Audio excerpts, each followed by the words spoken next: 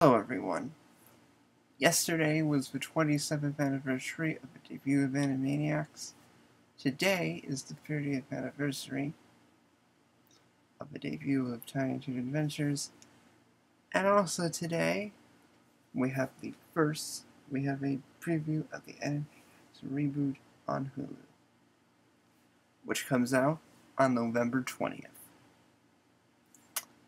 Now, in previous videos, I talked about some of the things.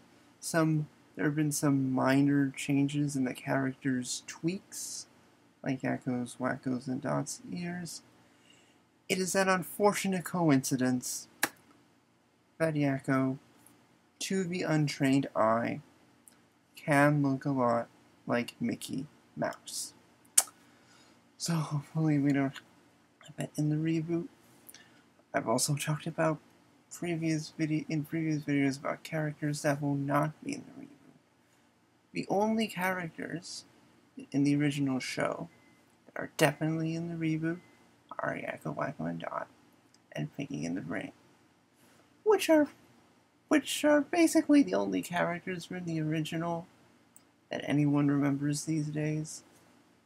And also, I feel sad for all the characters from the original show that will not be in the reboot.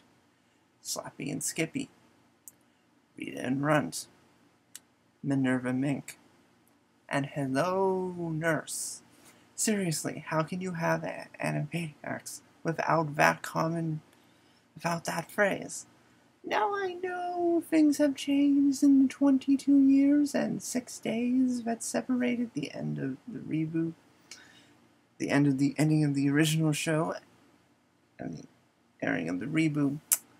But we will see what the reboot has for us.